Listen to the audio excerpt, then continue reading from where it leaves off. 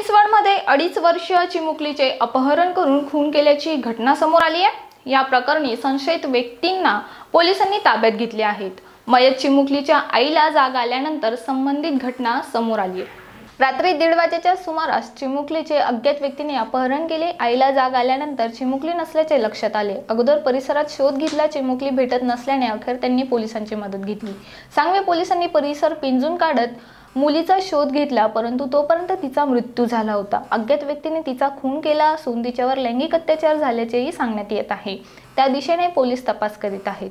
खाना वाना खा के फिर दरवाजा वरवाजा बंद करके सो गए। हमेशा ताला लगाती थी लेकिन कल मैं नहीं लगाई थी। ताला नहीं लगाई थी खाली कुंडी लगा दिया और सो गए।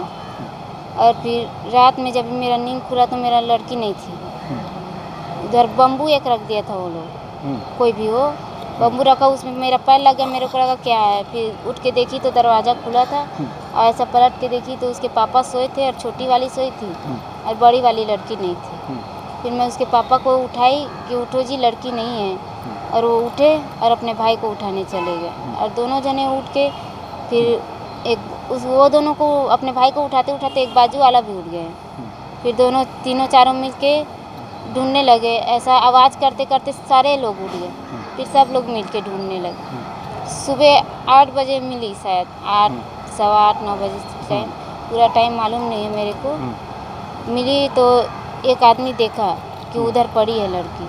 गड्ढे में कुछ है बोला वो।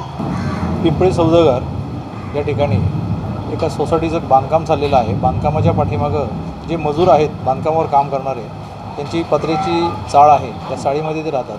त्या ठिकाणी एका अडीच वर्षाची मुलगी आहे साधारण. तिला रात्री घरातनं पत्र्याच्या त्या घरातनं उचलून नेलेली आहे.